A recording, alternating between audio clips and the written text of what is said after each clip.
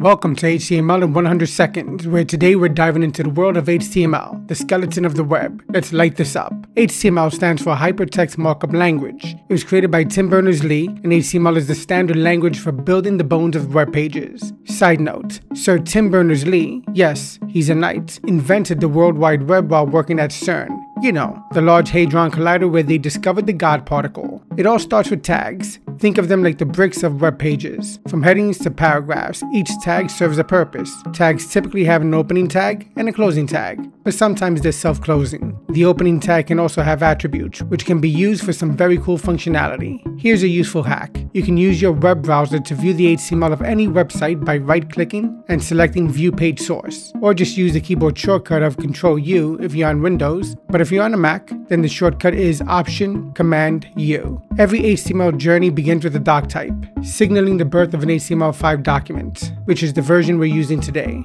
Dive into the head for metadata, then jump into the body for the meaty content that users see. HTML5 spice things up with semantic tags like the header, nav, footer, article, and others. It's like having a very well organized closet. Need user input? Well, we have the form tag, we have input, text area, and the button tag to the rescue. And let's not forget about multimedia. We also have image, audio, and video. You have view page source after this video to see the HTML. Hyperlinks are the web superhighways. The A tag or the anchor tag is your ticket to anywhere. Then we have style, ID, and class are just some of the global attributes which are the Swiss Army knife in your HTML toolkit. And hey, let's keep the web accessible for everyone. Proper HTML ensures that. If you want to create a button, use the semantic tag like button instead of div. Also make sure to use the alt attribute for alternative text for an image. When HTML meets CSS and JavaScript, it's like the Avengers assembling and browsers are the stage where HTML performs, transforming code into visual magic.